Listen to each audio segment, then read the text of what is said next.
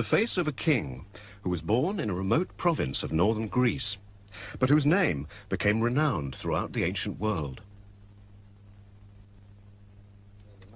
The archaeologist who has brought this royal figure to light is Manolis Andronicus.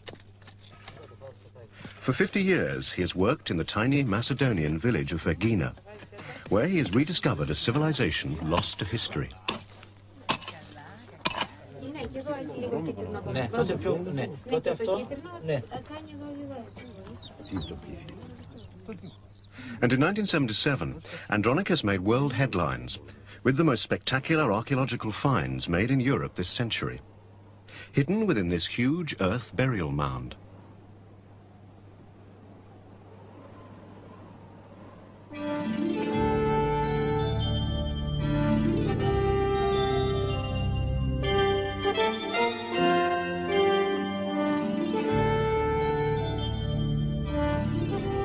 The magnificent objects he discovered were produced by a civilization who came to dominate the whole of ancient Greece. Their royal symbol was the starburst.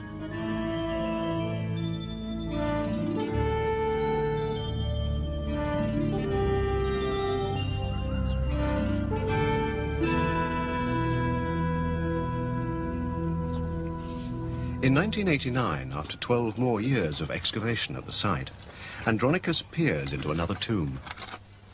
Put together, the evidence he has uncovered has overturned one of the most fundamental tenets of classical history, that the glories of Greek culture were only to be found to the south, around the ancient city-states like Athens. Macedonia, far away to the north, had been ignored as backward and underdeveloped because there was little historical evidence about the nature of Macedonian society and so its sites remained buried and forgotten. Until in the 1850s, an adventurous French archaeologist, Léon Heuzey, determined to travel beyond Mount Olympus. He journeyed north until he reached the tiny hamlet of Palatitsa, close to present-day Vergina. There he stumbled upon a ruined church, built from ancient stones and broken columns. What he found was intriguing, and investigating further around the church, he pieced together the outlines of a vast classical building. The ruins of Vergina clearly suggested that in the past, Macedonia had been more than merely a barbarian outpost.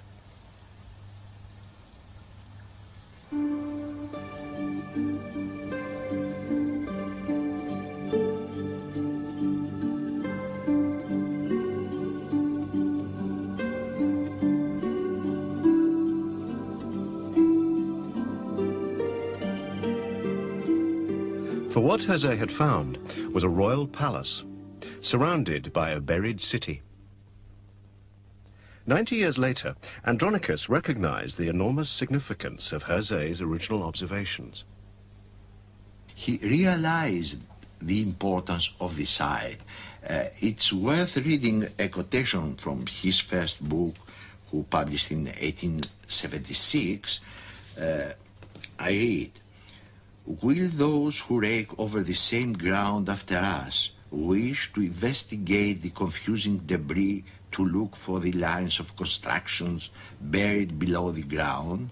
We earnestly hope so, if indeed there is a chance to solve the mystery that envelops the history of Macedonia, we are convinced that it lies in the hills of Palatitsa Whatever the name of, it, of this unknown city, the importance of its ruins for Macedonia will be comparable to those of Pompeii. This quotation, this sentence is really prophetic because after hundred and so years, now the results of the excavations uh, proved that this place was very, very important, and we knew very many things about the history and the culture of Macedonians. The great importance of the site uncovered by Andronicus and the team he's brought together has transformed Vergina into a tourist attraction and Andronicus himself into a well-known public figure.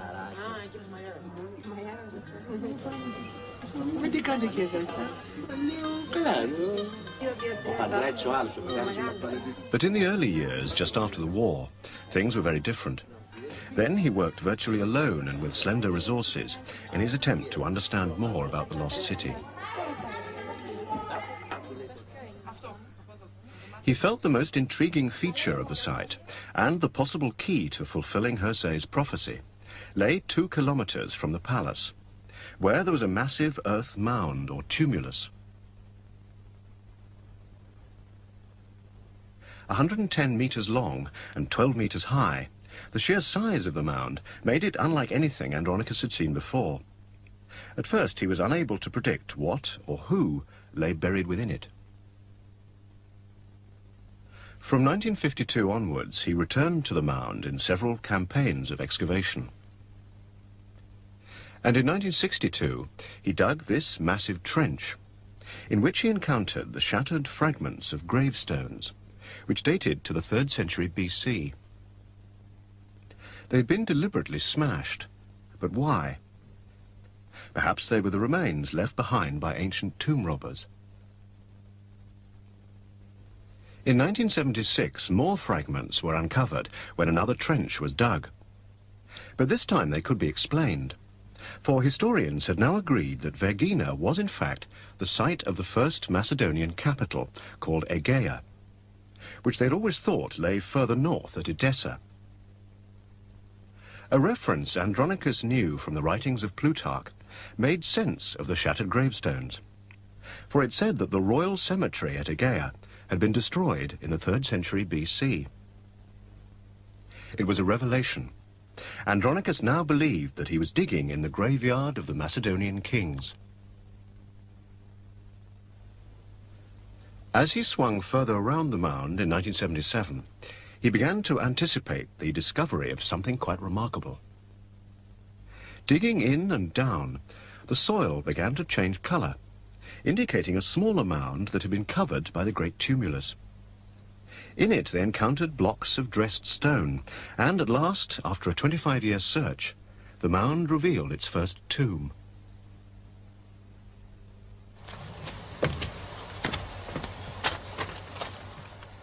But when the tomb was opened, they found that all its riches had been plundered, except one,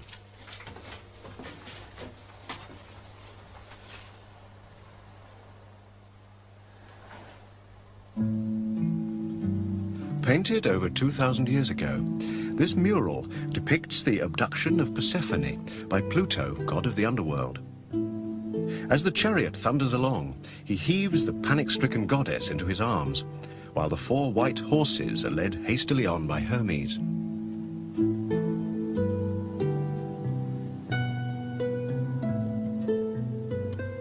Persephone, daughter of the corn goddess Demeter, was taken off by Pluto to the region where the souls of the dead resided.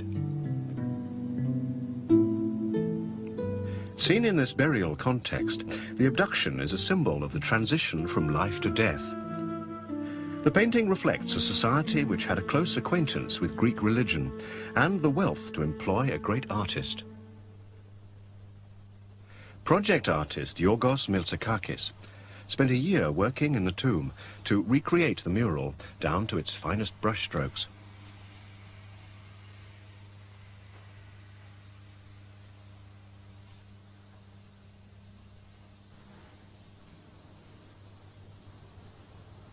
And what he observed about the painter's style helped Andronicus to identify the artist as the legendary Nicomachos. We have information from uh, a Latin writer named Plinius about the style of Nicomachos, about the technique he used, I mean the colors and other details. And also we know that uh, Persephone's abduction was included to Nicomachos' repertoire. And uh, Professor Andronikos thinks that uh, must be responsible for this uh, painting.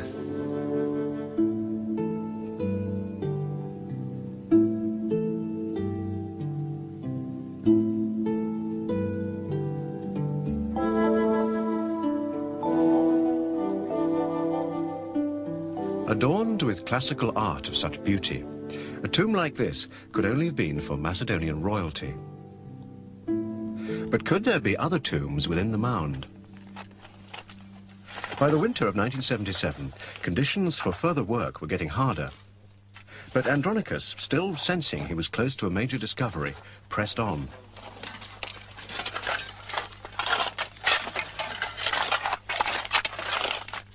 Finally, in the shadow of the huge wall of earth his excavation of the mound had created, another tomb was uncovered.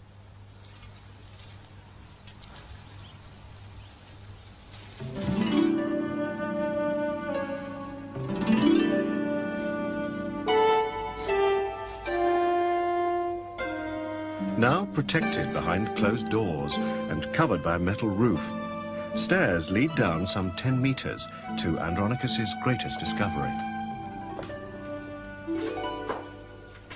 Tons of earth were cleared to reveal a monumental tomb with a facade over five meters high. Its Doric-style columns framed a door still sealed and intact. Above the door, a mural where youthful riders and athletic warriors hunt in a winter landscape.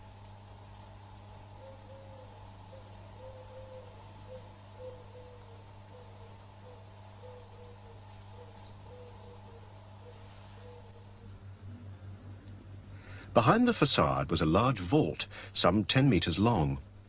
Its arched construction, an advanced piece of architectural design. Whatever treasures it contained had been hidden from view for 23 centuries. Until on November the 8th, 1977, the keystone was lifted and Andronicus peered inside.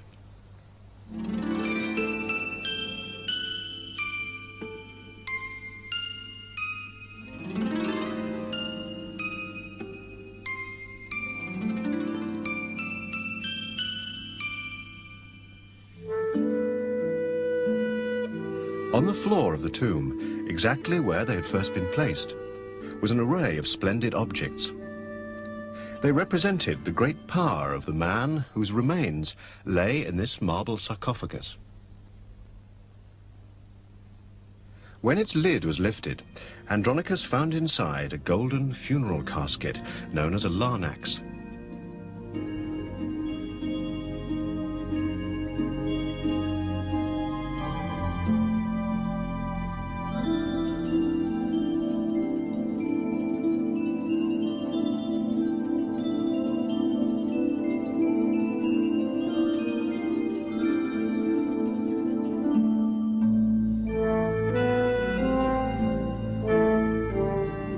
It opened to reveal cremated bones, stained purple by the decomposed cloth in which they'd been wrapped.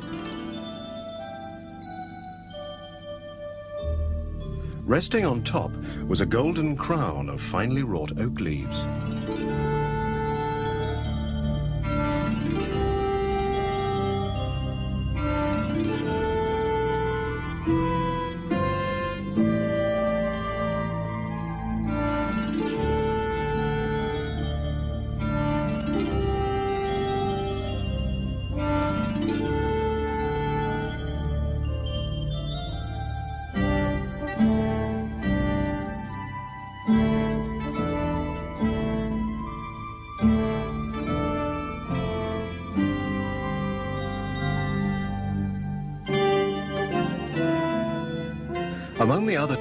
That survive from the tomb are symbols of war, like this armor, fringed with gold and studded with lions' heads.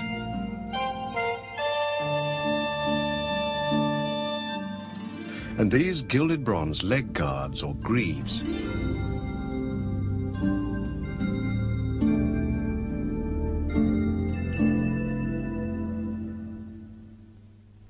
Objects like this ceremonial shield took five years to reconstruct from all the tiny fragments which littered the floor of the tomb.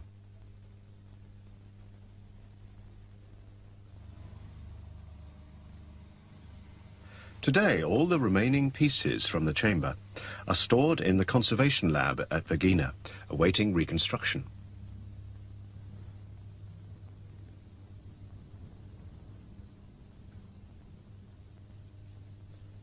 They have been spread out in their thousands, exactly as they were found in the tomb. They are even kept in layers, on top of each other, in the way they originally fell to the floor.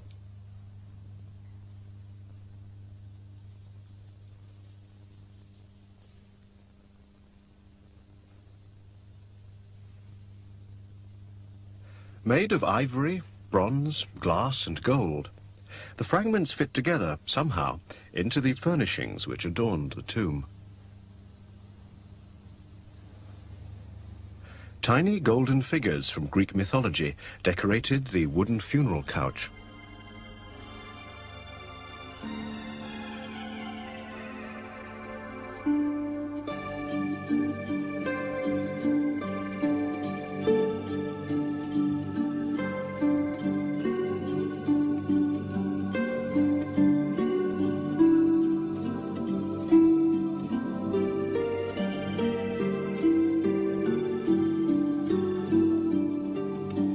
Other lifelike figures with ivory heads were also attached to the couch. Could these be the dead man and his family?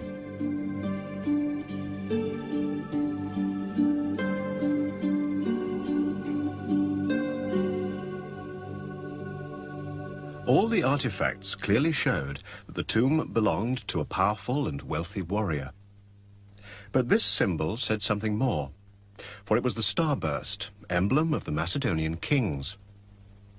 For Andronicus, that meant one dramatic possibility. Might this be the tomb of Macedonia's great king, Philip II? Could the contents of the tomb provide any further clues? In the tomb we found uh, some ivory heads. Uh, amongst them was one uh, which uh, I thought that was the portrait of Philip because the right eye of this ivory head was a blind eye, and we knew that Philip was blind in his uh, right eye. But I had another uh, argument. The likeness with the gold medallion from Tassos, well known, uh, was very great. Philip II whom the Athenians reviled as the chief of a barbarian tribe until he came to dominate the whole of Greece, and whose son Alexander the Great set off to conquer the Persian Empire, spreading Macedonian power to the edges of the known world. Another clue was found on the mural, which shows a group of hunters, among whom are two distinguished riders. The whole painting has been recreated by Yorgos Miltsakakis. My opinion is that the central horseman, which is uh, between the two trees, uh, is Alexander the Great. And uh, when we found, I thought that this could be the, the dead. But as we understood that the dead was not a young man, but a mature man, uh, I realized that the dead was the other horseman, which is not very obvious now because of the damages, and uh, I distinguish in his face the face of Philip. The date of the artifacts found uh, in this tomb and out of this tomb were dated uh, in the third quarter of the fourth century. That means 350 to 325 BC we knew that uh, during this period only one king was uh, dead and buried. Then, if the date was correct, and to my opinion, and to according to the opinion of all archaeologists, I think, uh, is correct, the only candidate was Philip. But it was the bones taken from the Larnax that provided the most graphic proof for the final identification. And this was made possible through the efforts of a British team of physical anthropologists who analysed and reconstructed the face of the dead king. When we were examining the skull, the face and the jaws, uh, we observed, first of all, a neck out of the upper border of the right eye socket, and we also observed asymmetries between the upper and lower jaws on right and left sides. Uh, which may indeed fit in with the injuries that Philip received 18 years before his death at the siege of Methone in 354, uh, when an arrow fired from the wall removed his right eye. Despite such terrible mutilation, Philip lived on to fight more foreign wars and expand his empire. Until here, just outside his palace, in the theatre uncovered by Andronicus in 1982, he was murdered by an enemy from within.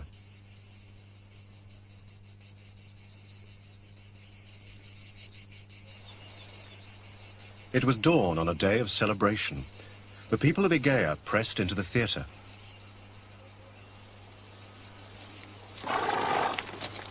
But as Philip entered, he was struck down. His murderer was killed as he fled to his horses.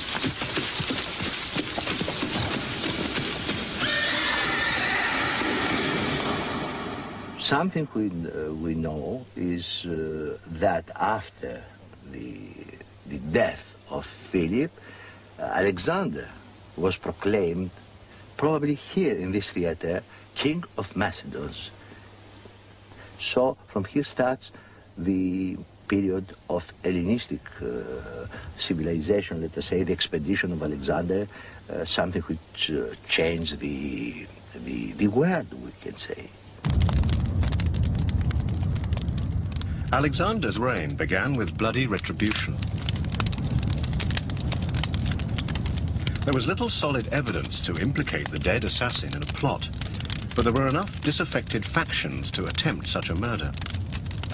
Whether it was planned or not, the killer's sons were put to death, and Alexander executed two others he suspected of involvement. These unfortunates were thrown onto the funeral pyre alongside Philip and his regalia.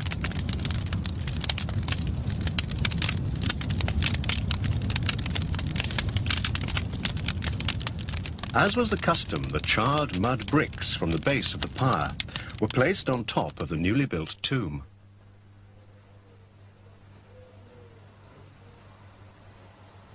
A second chamber was added to the tomb after Philip's burial, revealed by this join in the plasterwork. Had it been built to receive another victim of Macedon's violent politics?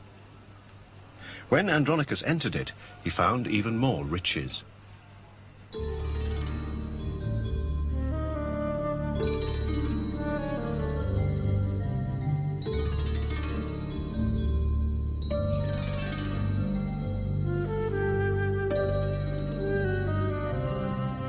Inside were the remains of a woman's jewellery, like this gold-plated pectoral.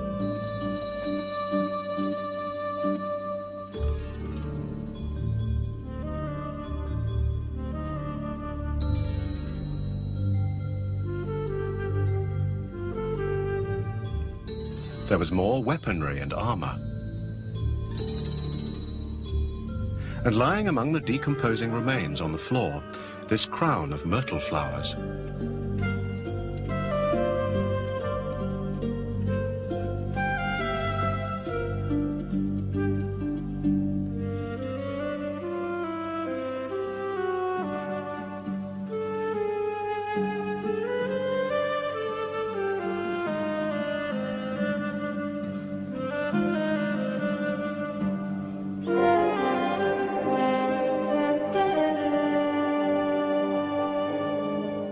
Inside the sarcophagus, he found a second golden larnax.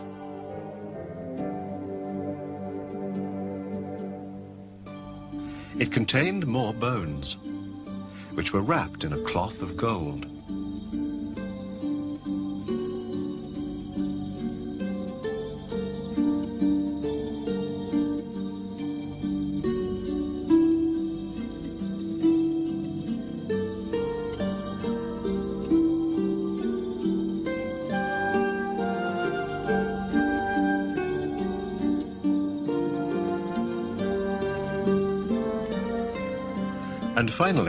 Was another magnificent golden crown.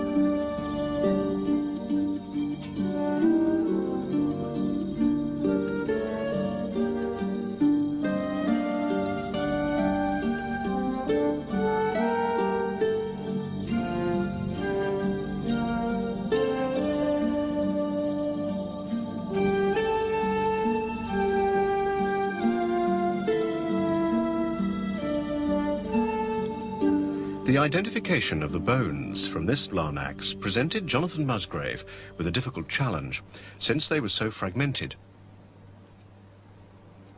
The first priority was to prove conclusively the sex and age of the bones. He could then try to relate this information to the historical data about the characters involved in the political intrigues. When one's trying to establish the sex of any um, skeleton, one uses a few diagnostic, or as many diagnostic pieces as one can. Among the limb bones, for example, we have both right and both left femoral heads, and the size of those does differ quite significantly between the sexes, and those, of course, fall into the female range, and we have other bones like the head of the humerus and so on.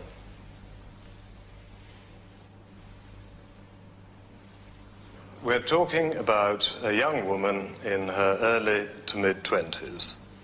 The most likely is Cleopatra, who was Philip's last wife, who was murdered in early in 335, six months after Philip's death, along with her baby. Uh, she was uh, probably about 22 when she died, so she would be quite a strong candidate indeed. There is obviously the problem of the absence of baby bones, but that is not insuperable. She was she died under certainly hostile and tragic conditions, and her murderers or her enemies could very easily have, you know, separated mother and child in death through vindictiveness.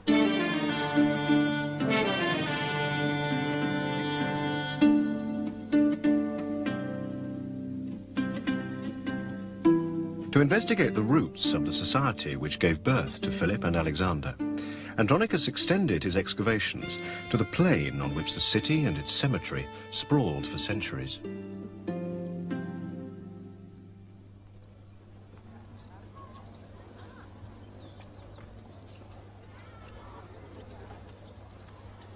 In the 1980s, one of Andronicus's assistants, Dr. Chrysoula Paliadeli, undertook the huge task of uncovering the houses, streets and public centres of Aegea.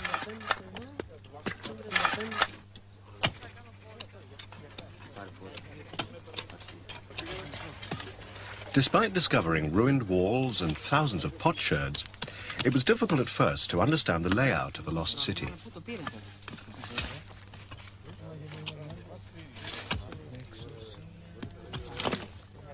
Then, in 1982, a temple was uncovered, built of finely cut marble. There were three statue bases, on one of which was an inscription saying that Eurydice, Philip's mother, had dedicated the temple to the goddess Euclea.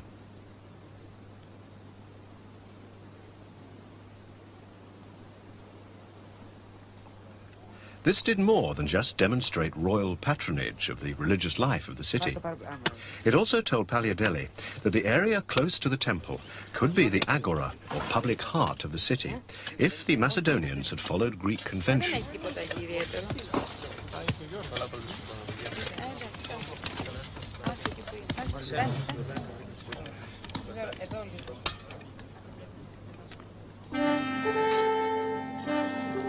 The evidence of these ruined walls now indicates that this was so.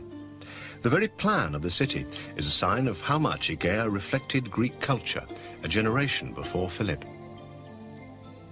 But Andronicus has found even earlier evidence a little way to the north.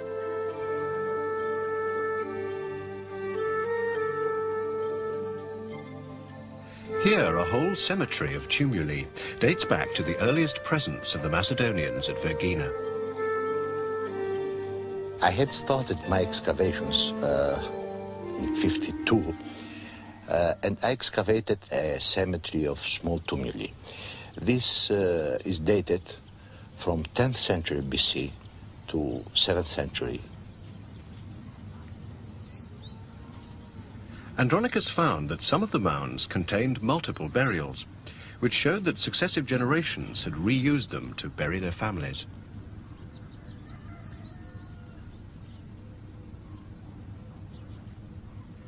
The dead were accompanied by bronze objects, which as early as 1000 BC already showed clear connections with southern Greek styles.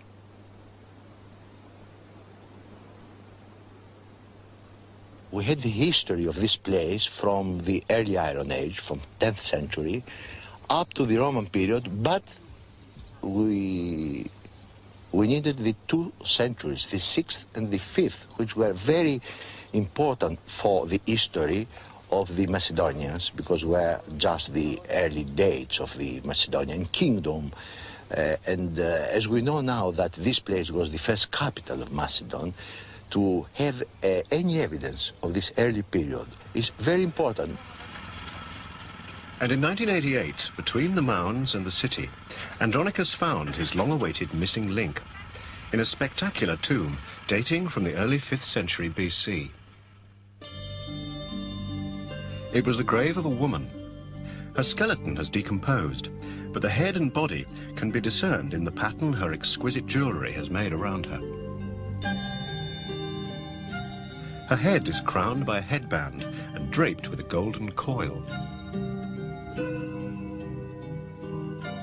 And all around are pins, brooches and other ornaments. Dr. Angeliki Kottaridi was responsible for its excavation.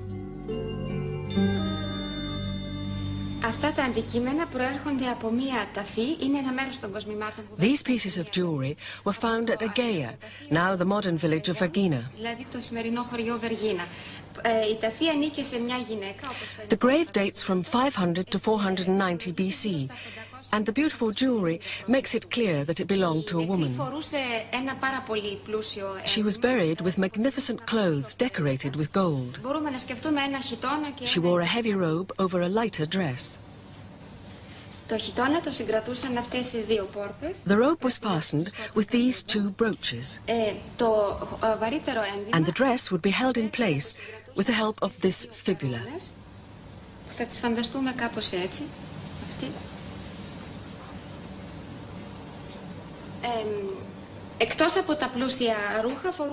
The grave also contained many other pieces of jewelry. This is the woman's necklace.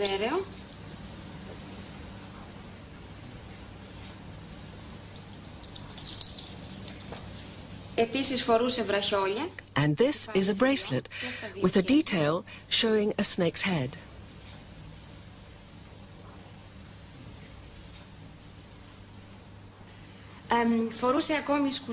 Finally, we found this set of beautiful golden earrings.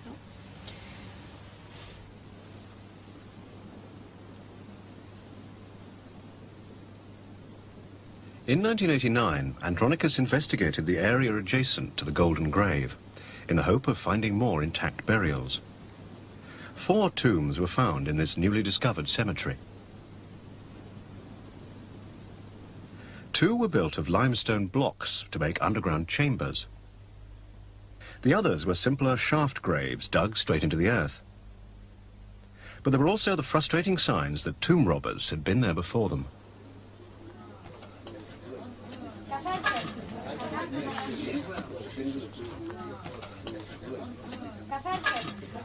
Digging the largest of the two chamber tombs, Andronikos's fears were confirmed. Bones and artifacts were strewn all around, leaving a scatter of pottery and marble vessels, and a skull thrown to one side.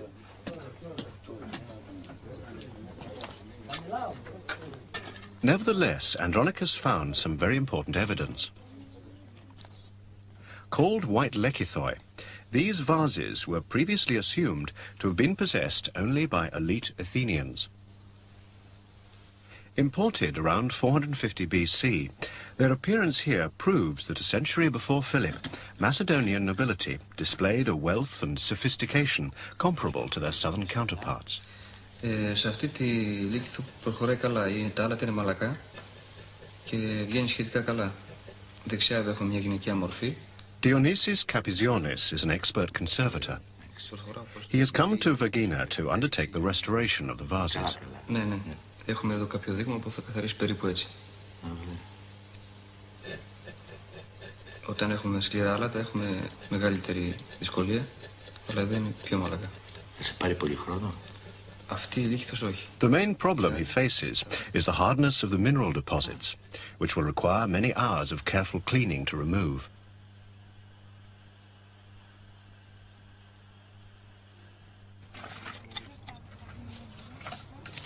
In one of the shaft graves, and in this second chamber tomb, the robbers had been very thorough.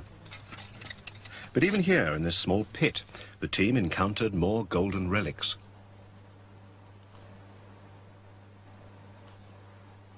Though the robbed shaft tomb had been disappointing, they still found one of a pair of golden shoes.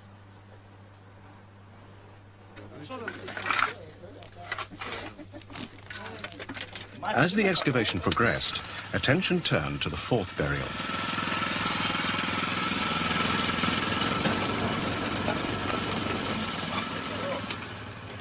A deeper shaft grave, earlier than the chamber tombs. And this time the indications were more promising.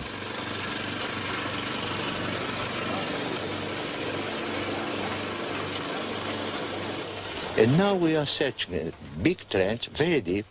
We are reaching now the fourth meters deep, and we hope that uh, will be a quite uh, important burial of the late 6th or early 5th century. Uh, until now we had a find above the burial, probably was in the filling of the, of the shaft. We found almost, if I am correct, uh, 10 or 11 terracotta heads uh, in natural size, broken but very beautiful work. I could say it's a, a great sculpture probably were done in a mold, and uh, all of them uh, were the same, the same face, I mean, same personality. Probably is a goddess, and probably is the goddess Persephone, as far as I can judge from the first uh, moment.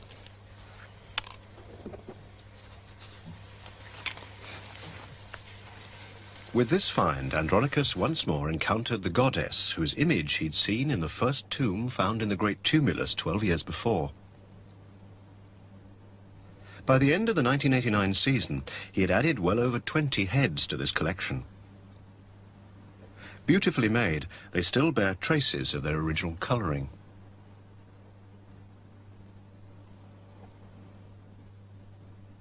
There are so many that Andronikos now believes that they may represent a cult of Persephone, perhaps similar to those celebrated in southern Greece, and here indicating an important grave.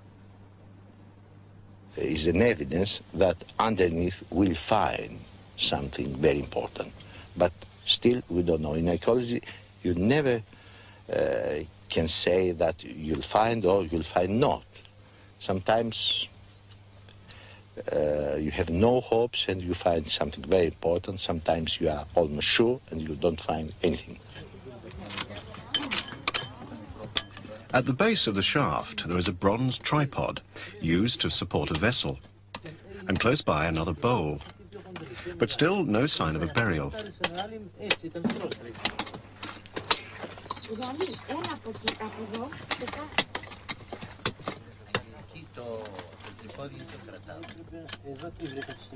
There is also a strange layer of charcoal.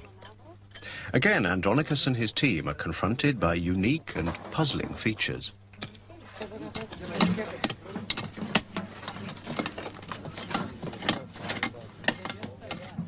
Suddenly, the charcoal is interrupted by this area of rubble fill, which extends into the neighbouring chamber tomb. They had found a tunnel used to gain access to the shaft grave by those who had already robbed the chamber tomb. In dragging their booty back through the tunnel, the robbers seemed not to care that they'd dropped articles like this bronze figurine. If this was not worth taking, what else might the tomb have contained?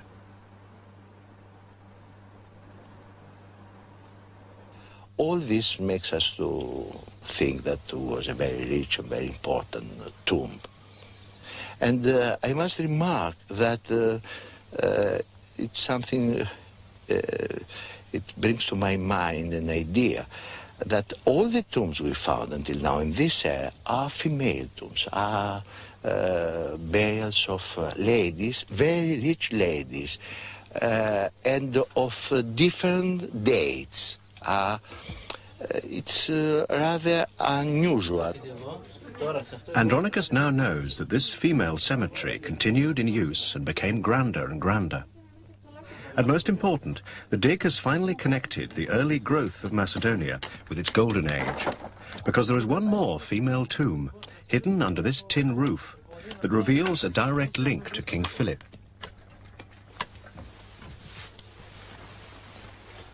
This is the first time cameras have been allowed inside. Another monumental tomb like Philip's, but even larger. The door to the main chamber tantalizingly ajar. When the tomb was first discovered in 1987, Andronikos found that several huge blocks had been removed by robbers trying to enter the tomb from the side. He also found a human skeleton. And a second body was lying in the antechamber. Both, it seems, were murdered by companions, intent on taking all the treasures inside for themselves. After a lifetime of searching for unrobbed tombs, Andronikos had come across some of the culprits who had deprived him for so long.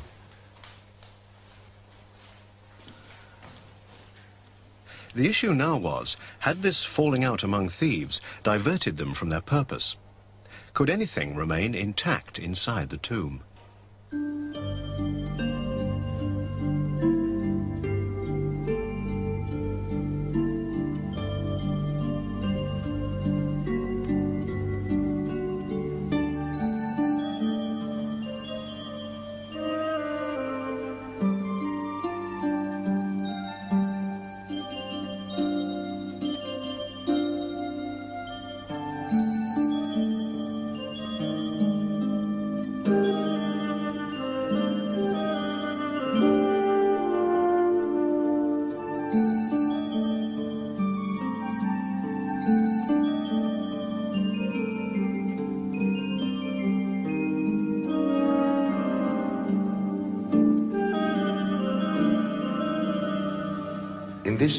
Have three absolutely unique uh, uh, characteristics.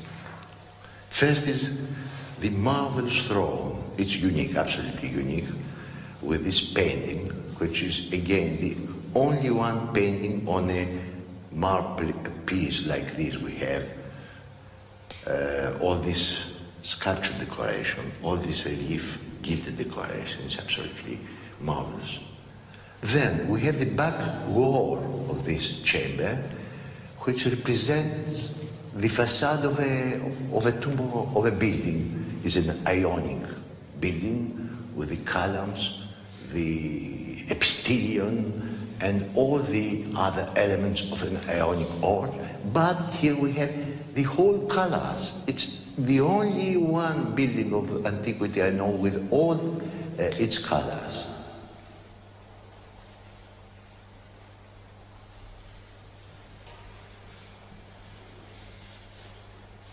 And we have uh, this false door, these false windows.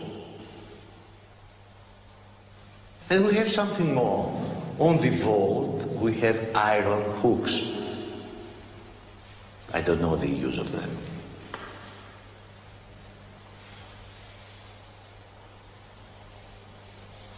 That the tomb belongs to a lady is uh, almost sure. Uh, this tomb is the biggest and the earliest of all Macedonian tombs. Uh, the throne is something very uh, exceptional.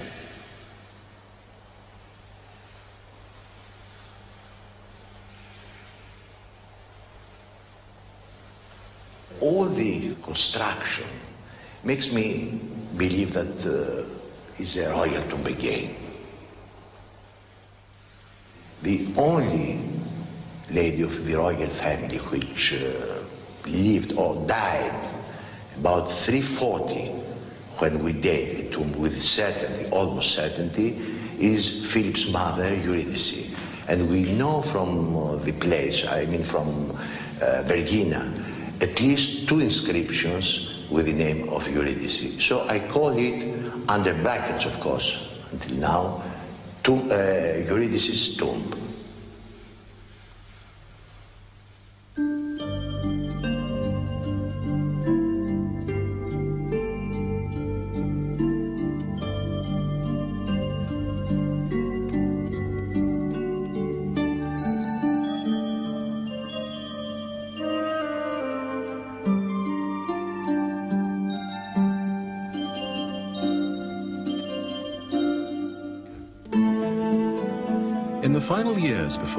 Eurydice died, before her son King Philip had reached the height of his power, the philosopher Aristotle walked among the streets, temples and courtyards of the Macedonian capital at Aegae. And he would have been at home here, among a people who had developed independently over the centuries, but who participated as equals in the classical culture of all Greece. More than 2,000 years later, it is Manolis Andronikos who has revealed the true glories of Macedonian civilization.